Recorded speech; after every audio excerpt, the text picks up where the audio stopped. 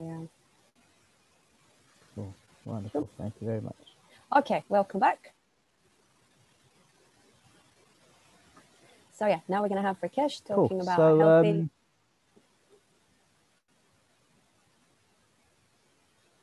right, there's uh, quite a lot of lag on your line, Sophie.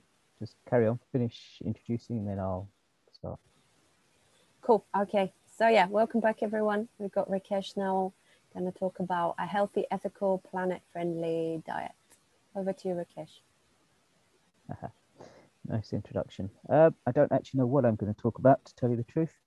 Um, so the other day, I was invited to do a talk at an alkaline festival. Uh, so England's first ever alkaline festival, which is going to be here in just down the road from me. And during the conversation, when he asked me what I wanted to talk about, we had a conversation, and uh, he gave me some ideas, or and basically, I woke up the next morning with a really clear idea of what I was going to do. So I kind of suggested it, and then obviously I didn't write it down. And so I'm not quite sure what I'm going to talk about, but let's let's just start the conversation and see where it kind of goes to. So yeah, so this is fairly free form, and I think I'll use the kind of uh, our collective intelligence to kind of formulate ideas and things. Um, and if you could give me maybe a five minute warning or something so that I can start to wrap up, that would be great. Sure thing. So the first, the, what, what I basically presented to him was, was my, was a kind of an idea of how I kind of saw, how I understand where and why and how we have become such an unhealthy yeah, why, why we have such an unhealthy diet in in the West in particular. Um, and if we look back, look back, you know, at history, we can see that uh, you know, especially in the well, in in the in the kind of tropical climates, it was really clear. You know, most of the diets there were lots of fresh fruits and lots of vegetables, and uh, there wasn't a necessity for so much meat, etc and um, and so it's a very alkaline uh, kind of diet that many people had. But as you get to colder climates, it gets harder and harder, especially in the winter, to kind of maintain uh, those diets. Hence, more predisposition to having more meats and fish and dairy products and so on and so forth. And therefore, a much more acid kind of diets and uh, which is why in many of those climates you found things like fermentation being a really important part of that diet because it's that fermentation that obviously preserves foods first of all so that you do have foods for other parts of the year but also the how it completely changes your uh, your gut which i think sophie's going to talk about uh, in the next session.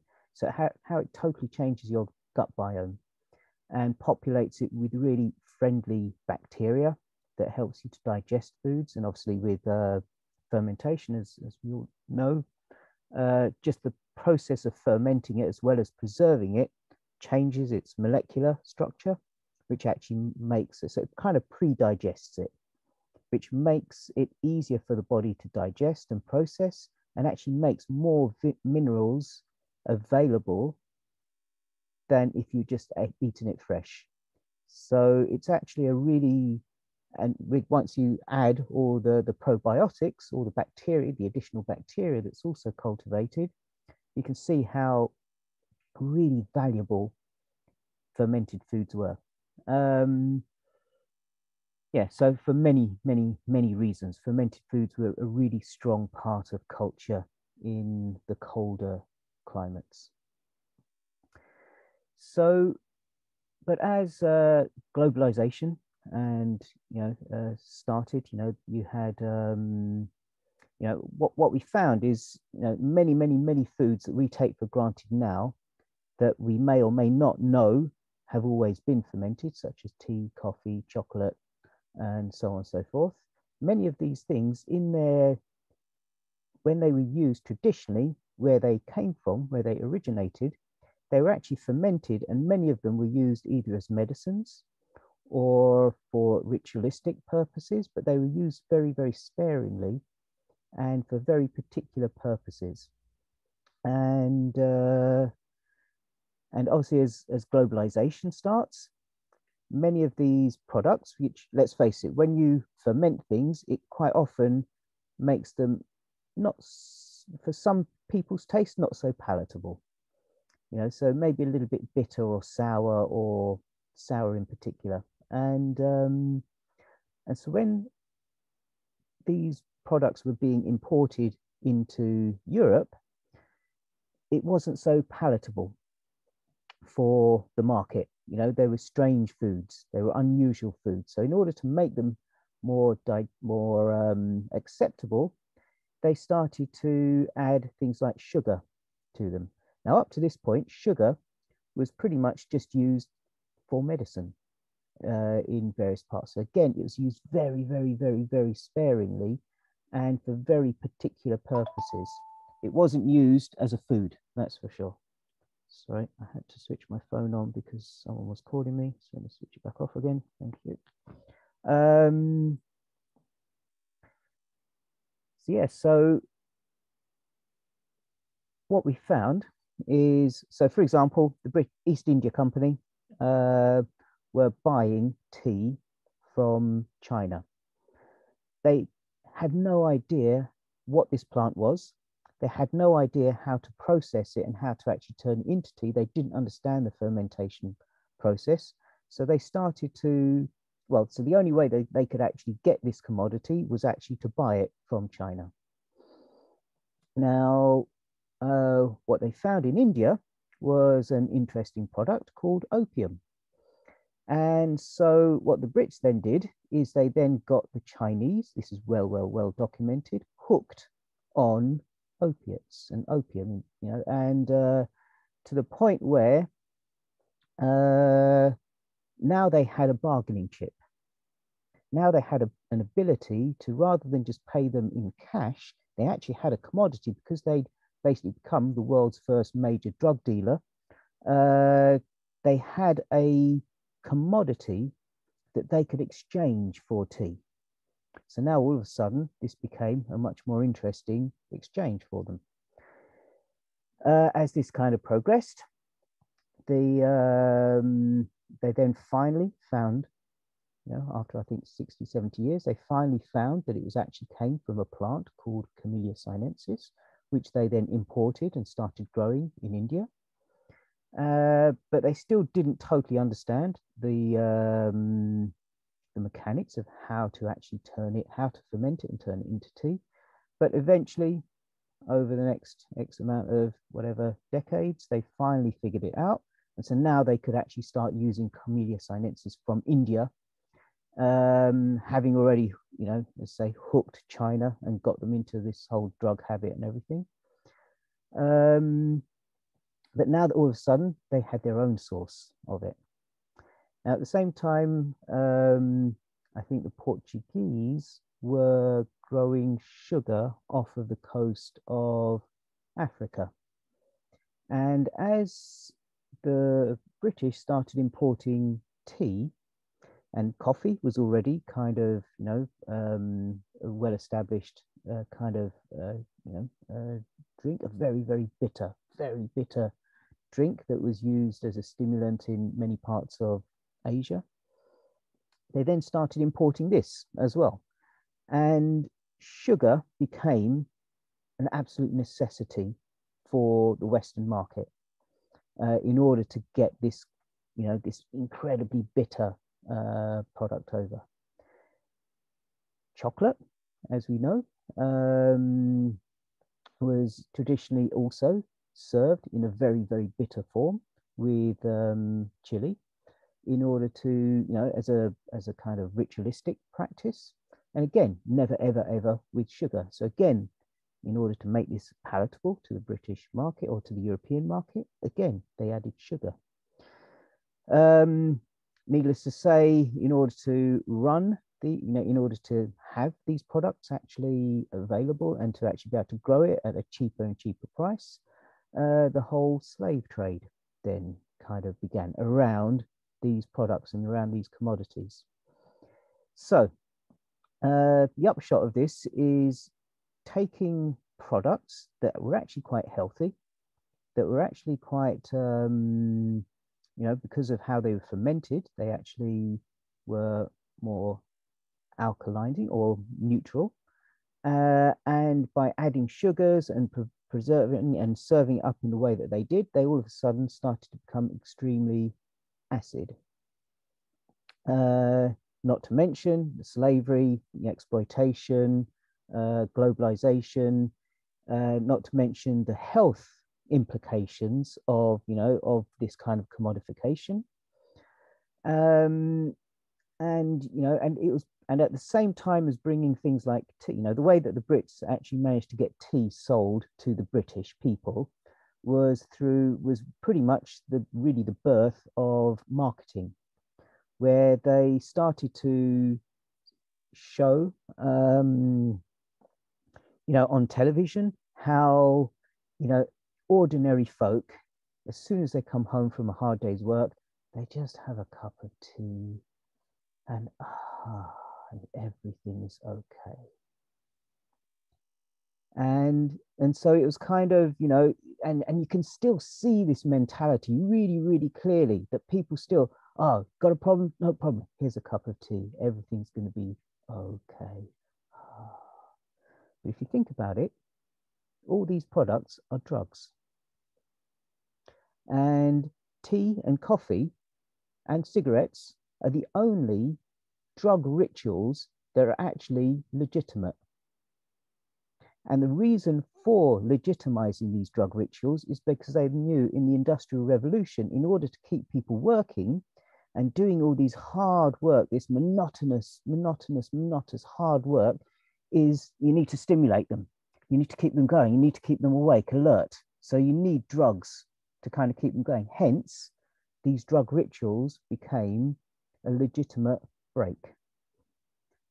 So, let's say the upshot of all of this is with all these, you know, um, well, no, you tell me with all these drugs, with all these uh, this kind of acidification of diets, what's the implications to to people's health? You know, and keeping them going. You know, it's hard work, hard work, hard work, but keeping them uh, artificially to keep going. What do you imagine the upshot of that actually is for for the general public's health?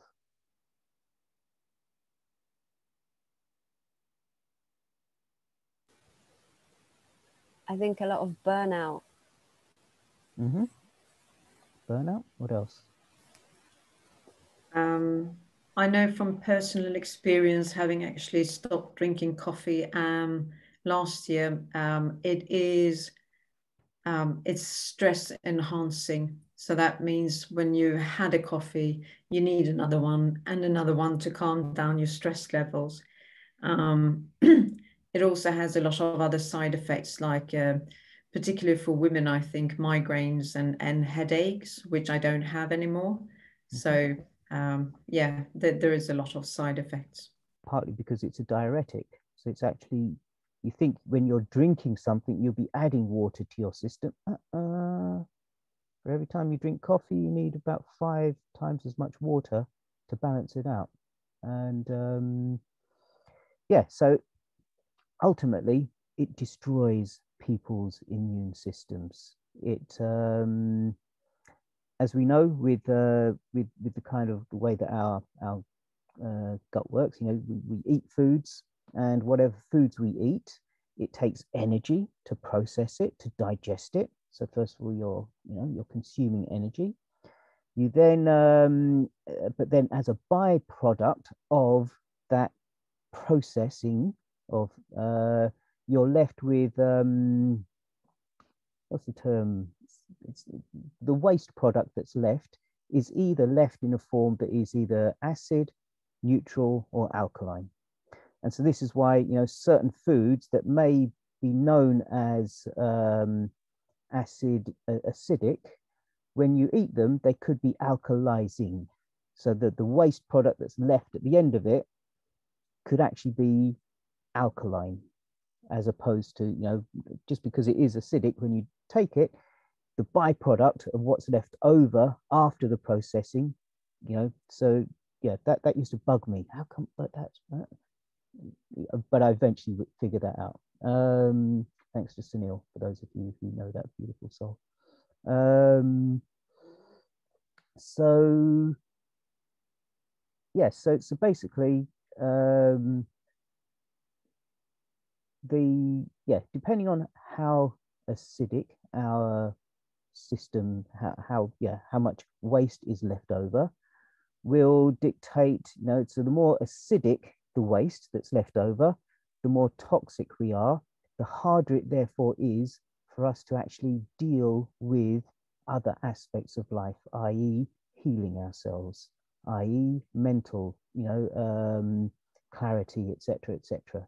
Which is why many of the kind of acid forming foods are really let lead down this really kind of toxic path of mental, physical, um, yeah, real lows.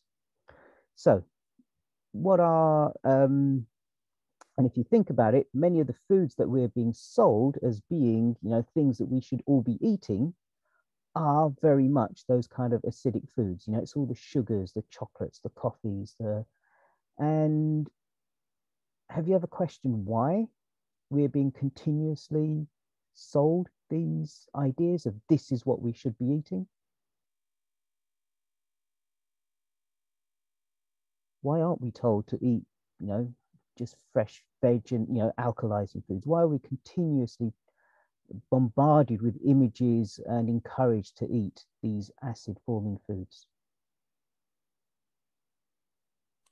When, when you're in a state of stress, like PTS, then you, you make worse decisions.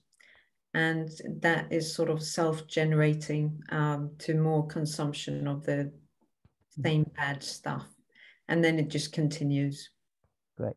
And I see what um, Steve has just put in the chat as well. Food is grown for profit, not for human health. Absolutely. So, and it's not just that, but who else benefits from people's ill health?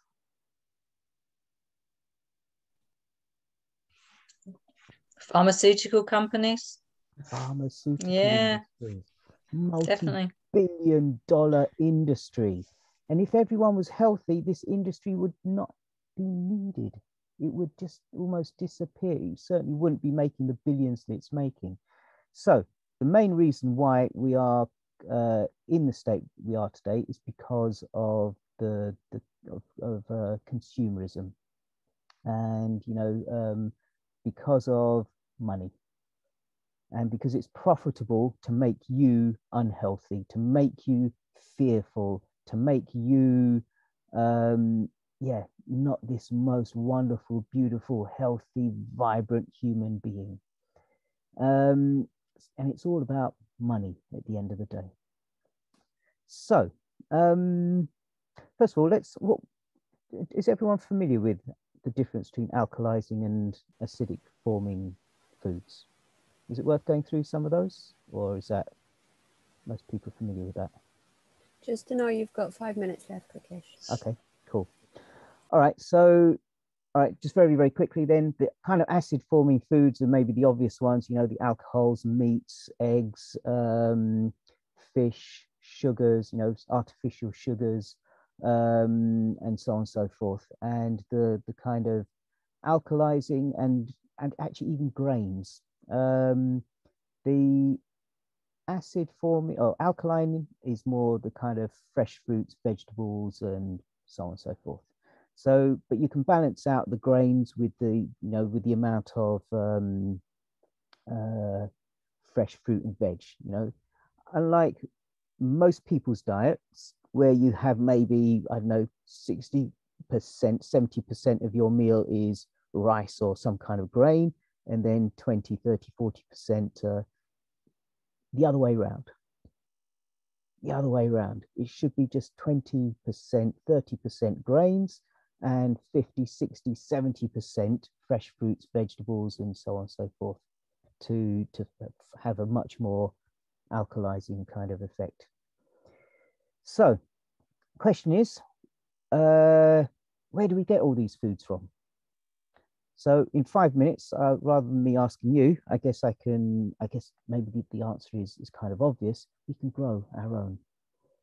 And if we can't grow our own, we grow in communities. If we can't grow in communities, let's start growing in, uh, you know, let's start setting up CSAs and things like this. Let's help support local farmers to help them to grow the kind of foods that we actually want in a way that we actually want it. So um, yeah, so I guess where I'm going to is is really in order to really have a good healthy diet, we really need to re rethink our diets massively, and we really need to rethink how and where we're getting it from. And obviously, the the knock-on effect from eating seasonal food, locally grown foods, is that this is actually much more better for our environment. So every single way we look at it is kind of a no-brainer. The sooner we learn how to grow our own foods um, and eat more seasonally, uh, you know, the better for, for everybody, for our health, for our surroundings, for the environment, etc., etc. Um, but obviously, one of the downsides of trying to grow all your own food is, or growing as much of it as you can locally, is that many foods only fruit at a particular time of year. So they all give you, you know, you have all your apples, you know, within a few months.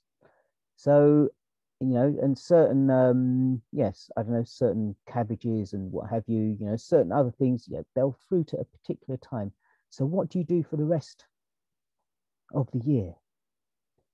And this goes back to what we were saying right at the very beginning, is if we start to preserve these foods. And there's many, many, many ways to preserve them. We can dry it, we can freeze it, we can, um, uh, yeah, you know, th there's so many different techniques, you know, preserve it in oils, in vinegars, and all sorts of things.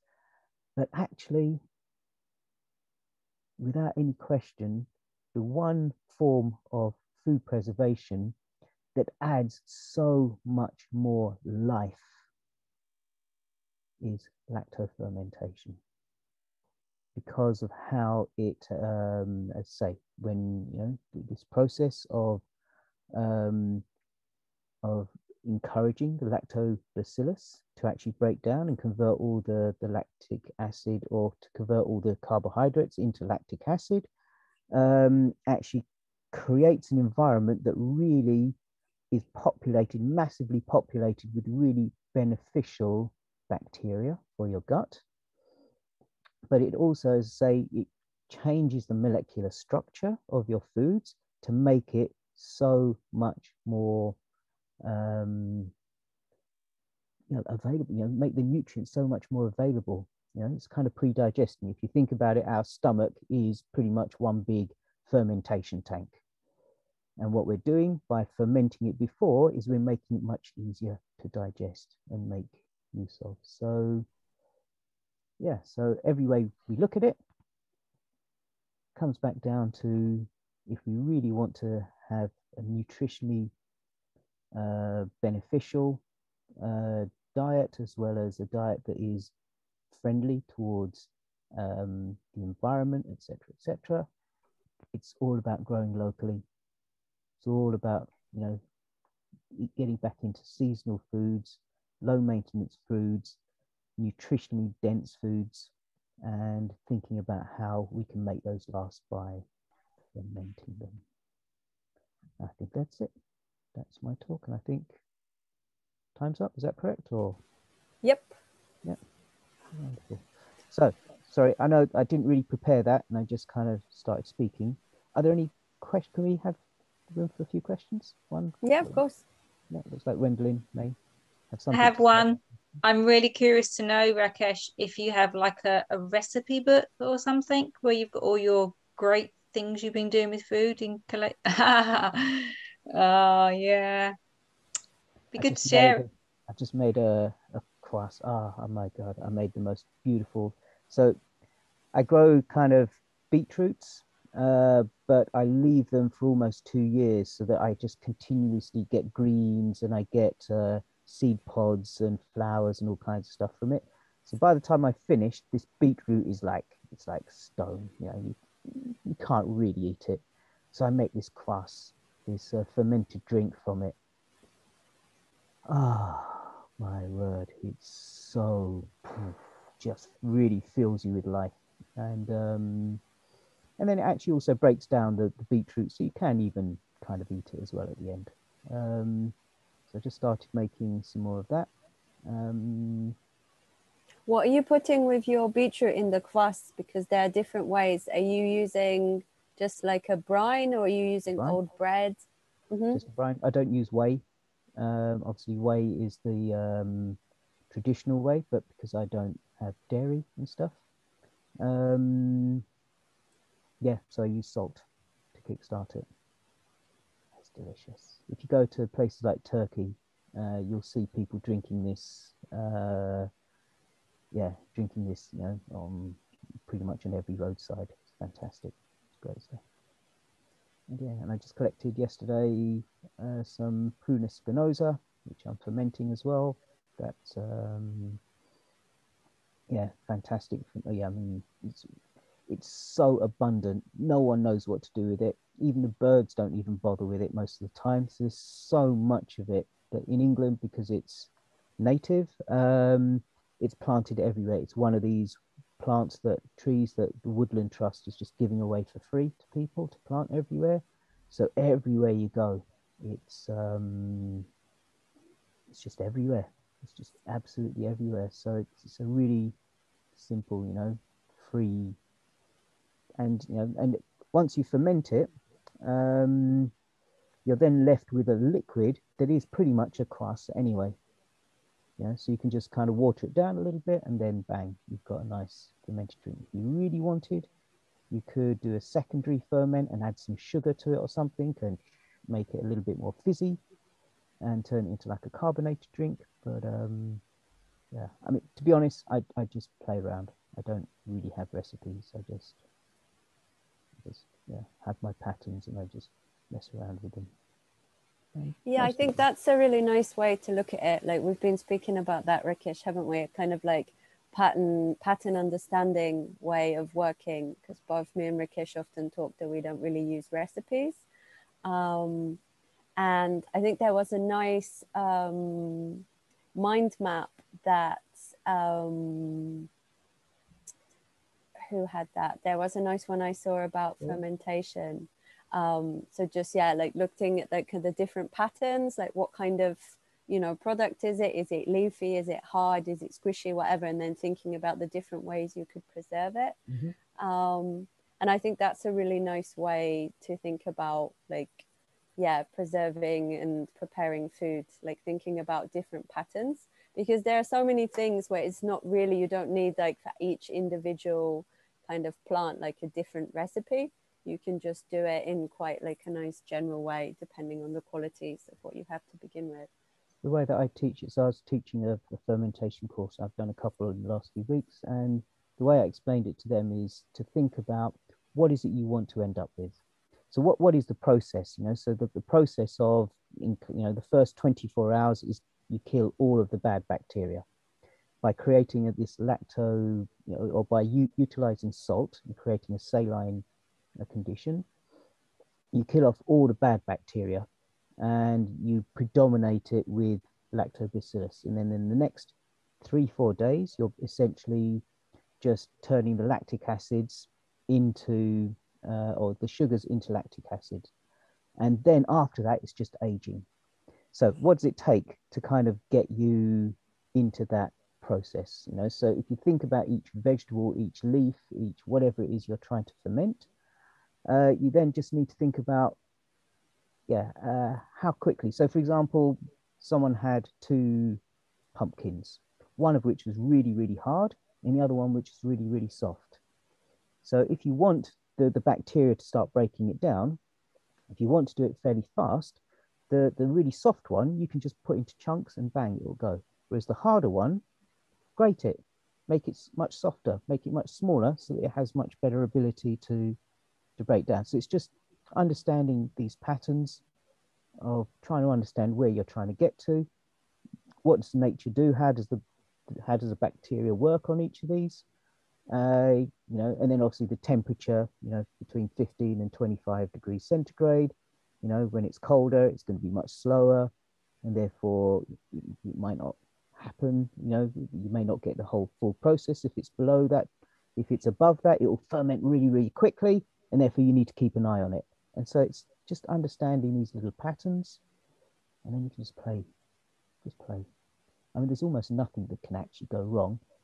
The only thing that can go wrong is if you end up with um, either a, a black or a red uh, mold. If you get either of those, yeah, bin it. Anything else, it's still okay. You know, even if you get kahm yeast, it's still okay. You can still eat it. It's not a problem.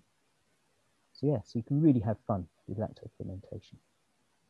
And even if you don't use salt, you know, you can still understand how, you know, it starts to decay, but you realize and recognize that, yeah, I can't, this isn't a long-term preserve because I haven't guaranteed to have killed all the bad bacteria. So it could, you know, but it will still lacto ferment. It will still start to ferment, but it won't be a long-term preserve because you cannot guarantee that it uh, that you know what bacteria are, are actually in there. So so those kind of things you just eat, you know, four or five days later you've finished it, but you've still got a ferment going. Anyway, patterns. Lovely. Okay, so we've kind of spoken through the break, um, but I think that's okay because we maybe don't need so many breaks. Um, so yeah, thanks for that, Rakesh. I'm gonna stop this recording and then start again for the next session.